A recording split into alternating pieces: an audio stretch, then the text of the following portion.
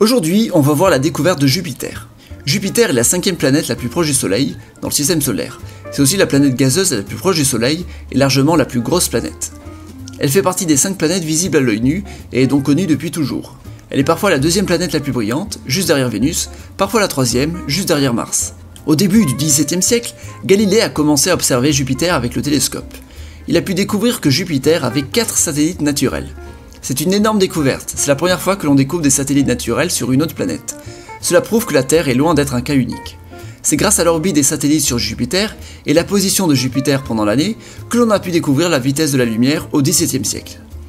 La grosse tache rouge de Jupiter est découverte dès le XVIIe siècle, mais confirmée seulement au XIXe siècle.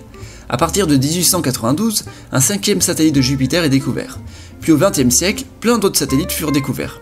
Du coup, les quatre premiers satellites découverts par Galilée sont surnommés les lunes galiléennes pour les différencier des nombreux autres. Pour ce qui est de l'exploration spatiale, Jupiter est beaucoup plus loin que les planètes telluriques par rapport à la Terre.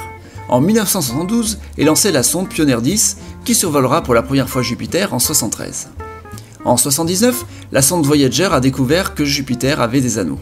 En 1995, Galileo est la première sonde à réussir à se mettre en orbite autour de Jupiter. Elle permet aussi d'étudier les satellites. Vu que Jupiter est une planète gazeuse, elle n'a pas de surface, il est donc impossible d'atterrir dessus.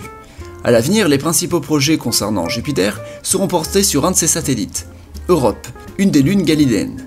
En effet, Europe est actuellement l'astre du système solaire le plus susceptible d'accueillir la vie en dehors de la Terre. Sinon, pour le moment, une soixantaine de satellites ont été découverts, certains très petits.